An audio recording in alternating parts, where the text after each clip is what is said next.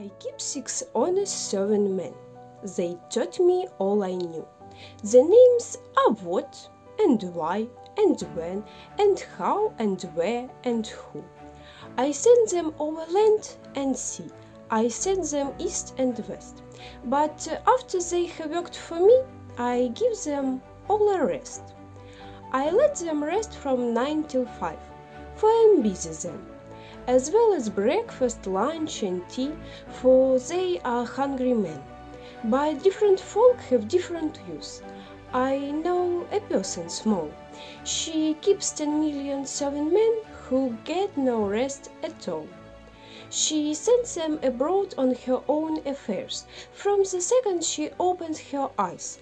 One million house, two million wares, and seven million wives.